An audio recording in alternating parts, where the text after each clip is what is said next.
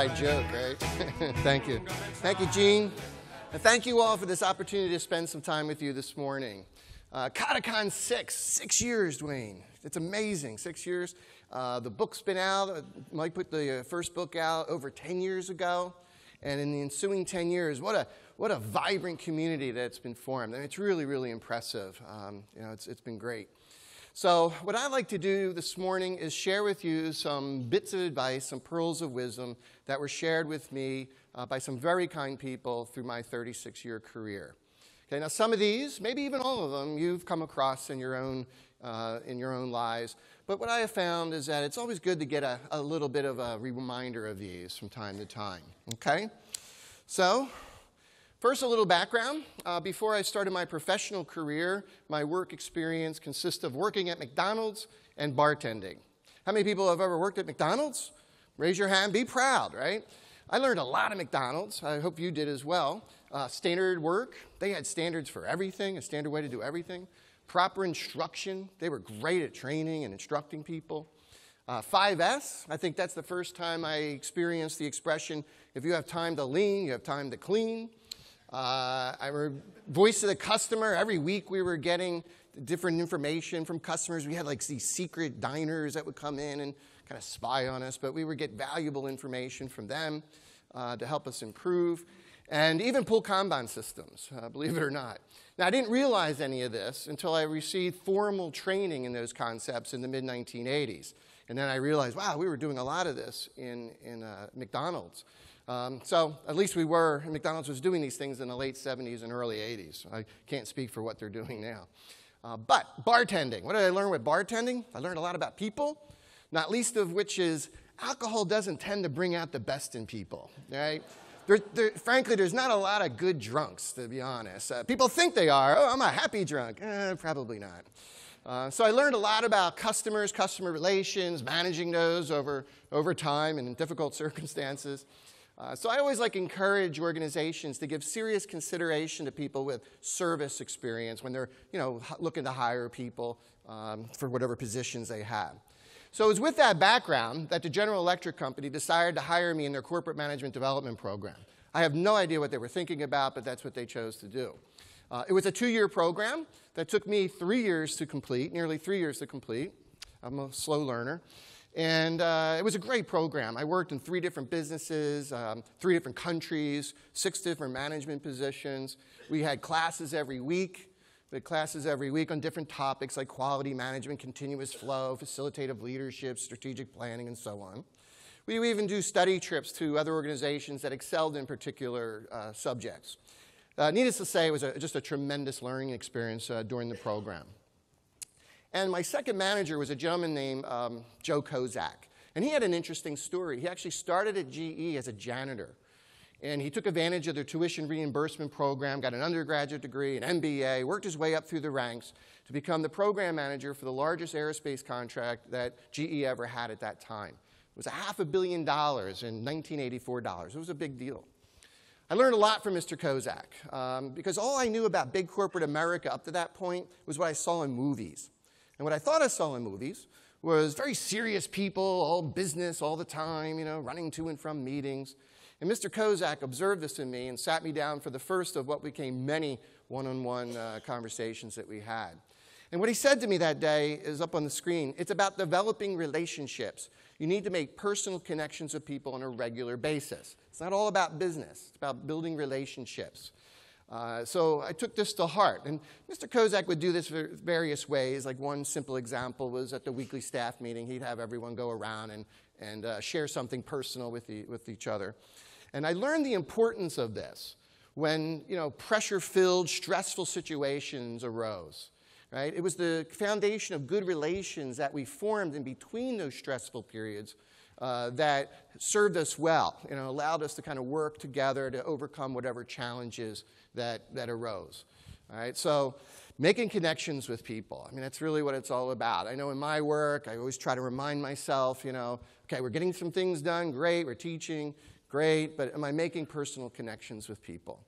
Uh, you know, this is all about people, isn't it? Uh, wasn't too long after that that I found myself in uh, Mr. Kozak's office once again for a one on one on a different topic. Uh, see, at that time, I kind of had an answer for everything. Now, some of you that know me probably think, Drew, you still have an answer for everything. I don't know, Jeff, do I? I assure you I do not, but it may come across that way at times. Uh, and Mr. Kozak observed that in me. And again, it was those damn movies. You know, leaders, managers always had an answer for everything, real snap responses and things. I thought that's the way you're supposed to act. You know, what do I know? I, I did learn that movies can be very misleading.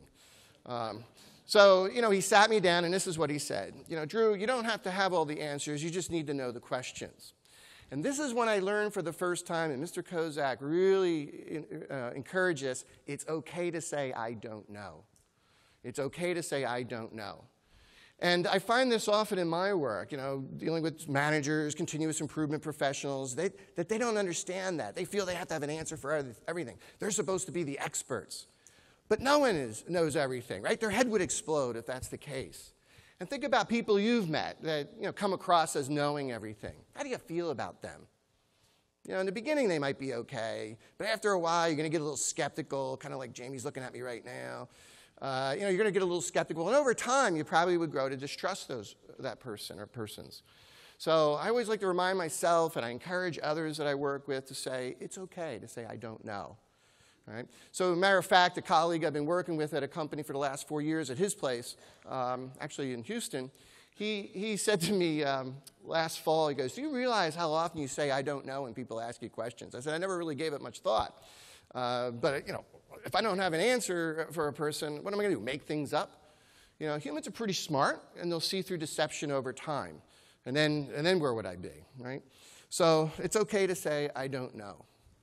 Um, next person I want to introduce you to is John Culp. Uh, Mr. Culp was not my manager, but uh, he was a person I worked with, and he observed some other concerning behaviors that I had. And he sat me down one day and he said this If you lose credibility, pack up your bags and move on. We don't have any need for you. And this struck me in a very profound way. See, I had these expressions in my language that were very troublesome to Mr. Culp. Expressions that after this conversation I expunged from my memory. I could not recall them for decades. In fact, I couldn't recall them until I was putting this presentation together for another conference a few years ago. See, what I had in my language was I would kind of preface something I was about to say with, believe me, trust me. I don't know if you know people like that. Well, Mr. Culp said, you know, only people that can't be believed and can't be trusted feel the need to say, believe me and trust me. So our conversation that day got deeper into credibility and you know how difficult it is to attain and how easy it is to lose. And um, you know, I took this in a very profound way. So I always you know try to be very careful with the words that, that I choose. Uh, so I'll leave that one for, for you to uh, consider. Uh, the next person, well, what ended up happening after I graduated from the corporate management program, I went to work with uh, our corporate engineering and manufacturing group. That was like our internal um, consulting group um, that we had. And I was involved in two major efforts. One was putting together our continuous process improvement methodology. It was a takeoff of Deming's PDCA. Uh, what we learned quite early was that people needed a little help with plan. There's a lot going on in plan. So we broke that down into four steps. You know, step one, understand your process. Step two, define the opportunity. Step three was like identify potential barriers. And step four was identify solutions, or what today we might call uh, countermeasures. All leading up to, to, to do, check, and act. Okay? We also worked on what we called an integrated product and process development system. We would call that today lean product development. And uh, we applied for the first time that methodology in our major appliance business and it failed miserably. This is no exaggeration. The financial impact of that failure probably would have put Whirlpool out of business in 1986, I believe this was. So we met with our CEO, who in instructed us to do a lessons learned and come back with our next target for application. Now, being a graduate of the management development program, I had access to our CEO and I asked him a question. I said, Why is it no one, no GE employees, lost their job in the face of this horrible, horrible failure. All the external consultants we were working with, they lost their jobs. So who cares about them, right? Hold on, wait a minute, you know. but who cares about them? So, you know, he went on to make this statement. It's okay to fail as long as we learn from the experience. We're trying to create a culture. Now, this surprised me, this kind of response, and probably surprises you if you know anything about our CEO. He had quite a reputation, and not all of it very positive. All right? So he went on to describe because if he didn't respond properly, he could forget creating a culture willing to take some risk and, and being able to accomplish great things. So we went back, our group, and we, we did our lessons learned, and we identified um, aircraft engines as our next application. Now, as a frequent flyer, I don't know, what, you know in hindsight, I'm like, what were we thinking? Uh, but that, there we were very successful. We were very successful. We reduced time to market by 50%. And fortunately, we were doing this because Pratt Whitney was doing the exact same thing at the exact same time and getting similar results. Uh, so by the early 90s, there was only really two aircraft engine suppliers remaining in the United States. This is when I came to realize that PDCA was about learning. I didn't realize that up to the point. I'm a Demonite from way back, and, and I just, just didn't quite grasp it until this moment that PDCA is really about learning. Uh, off program, or after my stint really with the corporate engineering and manufacturing folks, I settled back down into GE Aerospace. People had said if you can apply world class concepts there, and that's what we called it at the time, uh, you can apply it anywhere, right? It's complicated, it's regulated, it's you know, low volume. So I kind of took that as a challenge. And I went and worked in one of our divisions in the GE Aerospace division. And I ran into a lot, a lot of uh, resistance from the get go. And a gentleman I worked with, a process engineer named Gil Zander, sat me down and said, Drew, you're not very good at what you do. It's like, okay, uh, do tell.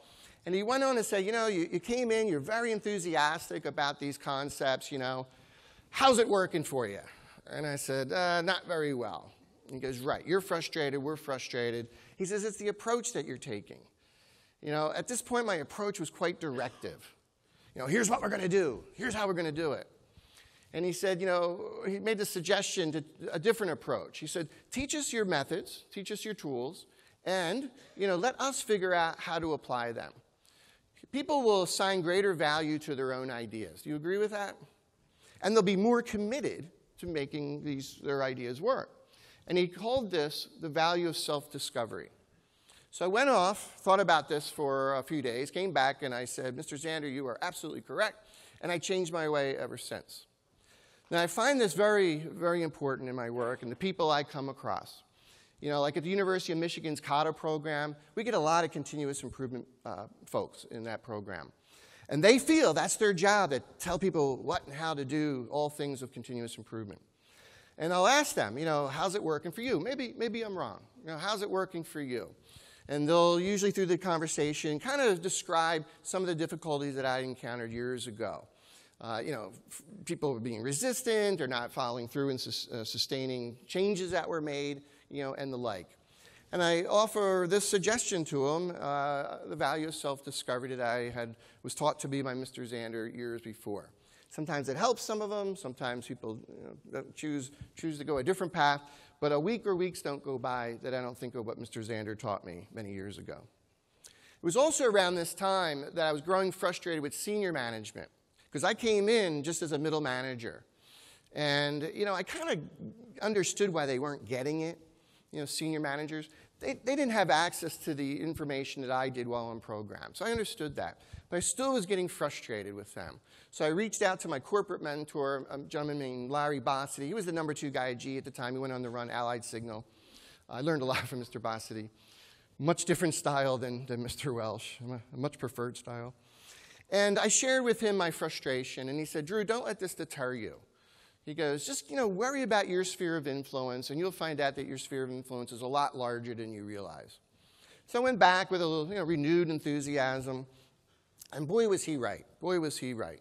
You know, not only did other, you know, managers start seeing what we were trying to do, but senior management at that site did as well. And in two years, it started getting the attention of other divisions within the business group and then I found myself being asked to lend assistance to the other divisions. And it was a large business group. We had 11 divisions. So I found out pretty early I had a very large sphere of influence. Uh, and I offer the same bit of advice to others, you know, in the CI community. We can get frustrated, right? Why people, others don't get it. You know, sometimes people will tell me, I'm not even going to try because my boss isn't, isn't into it. And I always give them the same bit of advice. You know, don't, don't let that deter you. Do what you know is right. In your area of, of uh, responsibility, your area of influence, and you're going to find out, like I did, that your sphere of influence is a lot larger than you realize.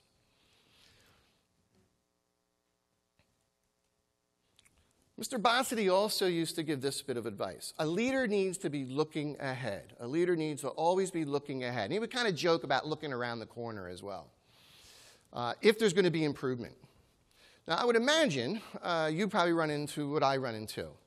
You know, a lot of folks, here we are coming in saying, okay, let's do deliberate process improvement. And they're looking at you like you're nuts. They're looking at you like you're nuts. You know, they don't have the time very importantly, you know, they don't have the emotional capacity because they're just trying to get through the day. Do you run into folks like that? I would think often.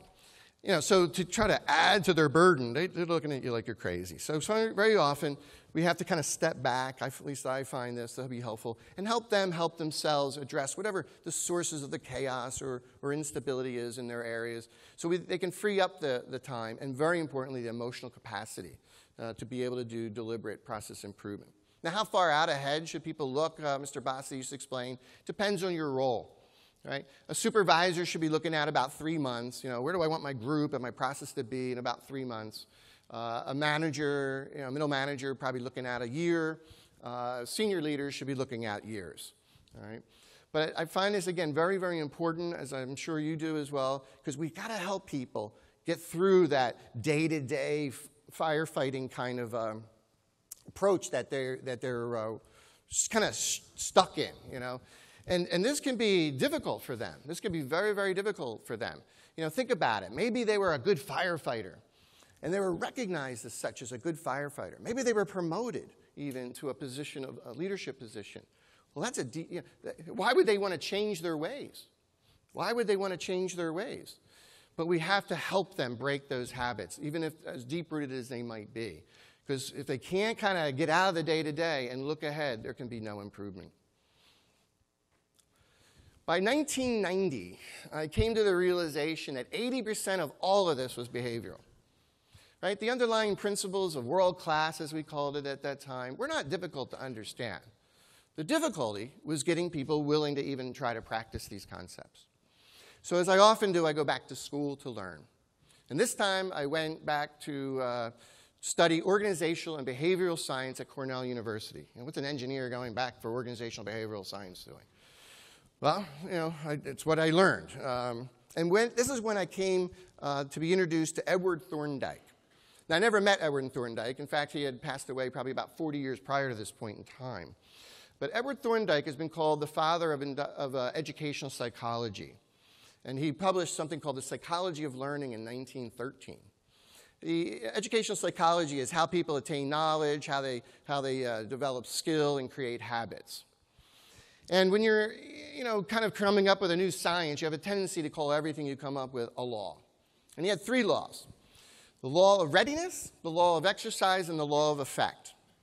The law of readiness is how prepared are people for learning and change in general? whether it be a large scale change or a small scale change. I don't think we have enough conversations with people to really ascertain their, their uh, state of readiness. I don't know if you agree with that, but you know, we need to have personal one on one conversations with them to really see are they ready to learn? Are they ready to change? You know, for example, have they, have they bought into the reason for change? You know, that they believe that it's important? Uh, perhaps they have. Perhaps their difficulty at that moment is that they're preoccupied with things that are going on at home. And to be involved in, even in a small scale change effort in work is just going to add to their, the anxiety level that they're already feeling. So I don't know about you, but I think we, you know, I find we just don't seem to have those personal conversations before we embark on any sort of major or minor change effort. The law of exercise is what it sounds like. It's practice, practice, practice. Practice makes perfect. Now, I don't know about perfection, but you know, you certainly need practice in order to attain knowledge and, and uh, develop skill and create habits. The law of effect. What the law of effect is, humans will want to repeat positive experiences and they'll want to avoid negative ones. You know, you go burn yourself on an iron, you don't say, ooh, let's do that again. Yeah, geez, that'd be a little sick. um, so, what does this mean? We need to make sure that folks are having a positive experience as they're practicing continuous improvement. Now, just so I'm clear, I'm not saying that they always have to have a positive outcome, right? We know, we, everyone here, I'm preaching to the choir, everyone knows that, you know, every PDCA cycle we do, every experiment we perform is not going to, you know, result in a positive outcome. But nonetheless, we have to make sure that the experience is positive for people in the absence of a positive outcome. So, how do we do that? Well, things like really focusing on the learning. Learning is a very positive thing for most people. Celebrating the, the trying, the experimenting, you know, and other ways. So again, we've got to help people make sure they have a positive outcome that they want to repeat over and over again, sometimes in the absence of a positive, um, a positive outcome. Now, what, what Thorndike said is if you practice these first three laws, what, what then will follow is the law of habit. And isn't that what we're really after? You know, getting people to make continuous improvement a habit, you know, in scientific thinking, a habit, um, every day, thinking that way. So, you know, if we can get enough of those folks thinking and, and making that a habit, we can create a culture of continuous improvement. Isn't that the ultimate goal? To have a culture of continuous improvement? And I find this extremely important in my work because I, I see that most leaders do not get these principles. Most leaders do not get these principles. I mean, all of you do because you're here. Now, how do I know this? And I'm not talking like, you know, they have to know Edward Thorndike or anything like that and the psychology of learning. I'm just, just talking about the underlying principles. How do I know this? Is in my conversations, it usually starts with, I don't know why my people aren't getting it. I just don't understand. I said, well, explain to me what, what opportunities people have had to practice. And it's usually thing, uh, responses like this Well, everyone went to a class. I made sure everyone got a class in whatever, lean or, or some specific concept. Or they'll tell me, Well, everyone's been through a Kaizen event. Some people have been through two or three. Or they might say, uh, Oh, you know, everyone had to do A3 storyboards. Some have even done two or three.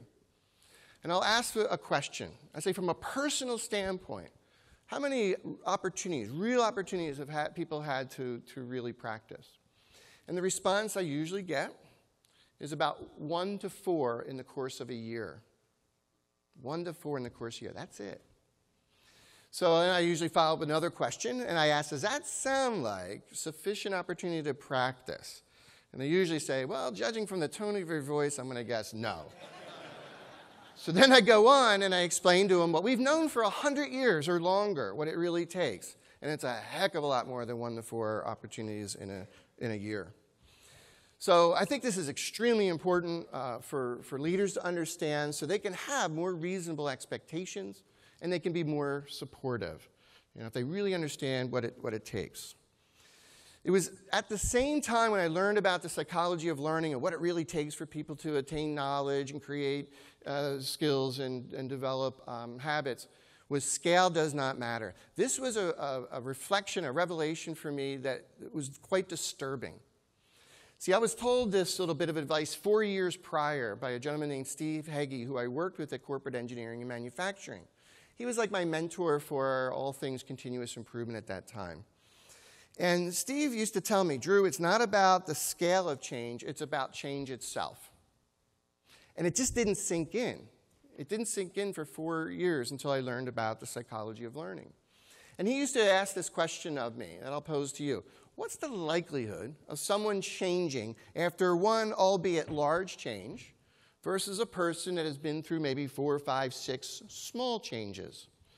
I would get his point right? The person that's been through more change cycles is probably more willing and capable of changing again. But, but, but, but, I would say, you know, we can, we can accomplish big changes. And I continued, continued to pursue large scale changes. When I learned about the psychology of learning and what you know, makes people tick, basically, I realized all the missed opportunities that I had for small scale change for myself, for the people I was working with, and this struck me very hard all the missed opportunities for people to help, and, myself included, to help, you know, uh, improve our change skills, our, our process improvement skills. And this comes up a lot in the University of Michigan Kata program. We get a lot of CI professionals that, that participate. And they will get to the same realization as I did. And they will react very strongly, sometimes even yelling at us. I'm not kidding. They start yelling at us. And they'll come up like during a break a little later and say, you know, Drew, I wasn't really yelling at you. I was yelling at myself. I said, I get it. You know, I yelled at myself when I came to this realization of all the missed opportunities. So I usually try to encourage them, you know, don't beat yourself up. Learn from the past, change your way going forward. Uh, and that helps some of them. I don't know if it helps all of them. But scale really does not matter for everything what we're trying to do. Small incremental improvement all counts uh, in the ultimate goal. By the mid 1990s, I came across another person that I never met, uh, Walt Kelly. He was actually a cartoonist. He wrote a comic strip called um, Pogo. I don't know if anyone remembers Pogo. It's probably been out of print for a long time. Some of us older folks remember that, right? Hal's shaking his head over there knowingly. And uh, what I read uh, was is up on the screen. The certainty of misery is better than the misery of uncertainty. Think about what that means. The, the, the uncertainty of misery, I'm sorry, the certainty of misery is better than the misery of uncertainty. Think about what that means. You know, I like to listen to people, and they like to complain to me. They complain about their process, maybe their boss, their coworkers. And then when that conversation kind of circles around to, okay, what can we do about it? Oh, no, no, you can't do that, you can't do this. So, as displeased as they are with the current situation, to go to an unknown type of situation is a, is a worse proposition. The certainty of misery is better than the misery of uncertainty. Okay? And, you know, this is important to, to understand. You know, I learned from behavioral science that this is human nature. You know, the human brain seeks certainty, wants to conserve energy, so it wants to stay with the known and familiar. I understand that. This is human nature. There's a great sense of safety of staying with the known and familiar. So, how do we help people? How do we help people? If this is human nature, how do we help them? So, what I've learned is we have to help people kind of replace their need for certainty in the outcome or the result with confidence in the process of achieving the outcome or result, the process of continuous improvement. And if they get enough opportunity to practice, practice, practice, they can really develop their confidence. So, again, replacing their need for certainty in the outcome or result with the process of achieving the outcome or result. So, a week or weeks don't go by and I don't think of this one uh, in my work. Um, the last person I want to introduce you to is Beau Keyte. Some of you uh, may know Bo. Um, I've known him since uh, 1993. We, we worked through the rest of that decade working, uh, applying lean in healthcare and, and manufacturing and non manufacturing organizations alike. By the mid 2000s, we were at the University of Michigan. We, we set up a few of their um, lean programs at that time. And at this point in time in my life, I had heard it all. Heard it all. All the negativity, you know, lean won't work, you know, why we're different. I'm sure you hear, you know, these kind of things or whatever term they're using. Um, my doctor always says, Drew, you got to stay away from negative people. I said, Do you know what I do for a living? You know? So what had happened was people would, you know, our students would kind of be starting to post a, pose a question or, or maybe make a point. And I, I wasn't listening. I already had a response, you know, because I heard it all. You know, I heard it all. And very often my response had nothing to do with the point they were trying to make, nor the question they were posing, because I just stopped listening. And Beau sat me down and said, Drew, you, you got to start listening. Students were complaining, and as he said, it was warranted. So this struck me very strongly because, I mean, how can I be a good instructor? How can I be a good coach if I don't have good listening skills? So I, you know, I sat back, I reflected, I thought of some things my mother taught me many years ago about listening being a gift. I thought she was kidding, you know, she was right. Uh, and I put some techniques in place to help me be a better listener. Now, frankly, I forget those techniques sometimes. I'm human like everyone else. And this is just something we all got to work on, myself included, to be a better listener. Well, where I find this important in my work is, as you probably do, you probably find yourself often in that second coaching role, right? Where you're observing a manager, leader, or a CI professional coaching others in the, in the uh, ways of continuous improvement. And often what I'm watching and observing is that they're not very good listeners. And I provide that feedback to them. And then this is what I get oh no, I, I got to stick to uh, stick to the five questions if it's the coaching product questions that they're using. I got to st- I can't break the pattern. You know, I got to stick to the script. And I'm like, but if you're not really listening to your learner and adjusting accordingly, then how effective is your coaching? So this is important. We, we all need to be good listeners and work hard at this. So my time is almost up, I believe. I'm looking at waiting for the high sign. I'm good. I'm good. I'm good. So as I said at the outset of this, you know, I, probably none of this is new for you, but hopefully you agree that it's always good to get a good reminder of these things. Uh, and you probably could tell similar stories, right, of, of, kind people that offered you advice or even more deliberate coaching and mentoring, right? Or maybe you read something profound in a comic strip, like I did uh, with Pogo. So, what I would like to suggest to you, and you're probably doing this already, many of you, uh, again, I'm preaching to the choir here, but to look around you and see who could you lend a helping hand to? Maybe as a, a formal mentor or coach, or just offer some bits of advice, as so many kind people offered me in, in my career. Uh, or maybe it's you who want some help. Look around once again and say, who could help me? And reach out to them. You know, it, not, it wouldn't just help you, but it would also be richly rewarding for them. And you'll probably find, as I have over the years, that your sphere of influence is much larger than you realized. So I thank you very much again for your time. I hope this contributed in some small positive way to your summit experience. I really, really encourage you to continue the noble work you're doing because it is important work. So I encourage you to continue on, even in the face of adversity, which we all run into. And finally, have a great day two of the Kata Summit, KataCon. Oh,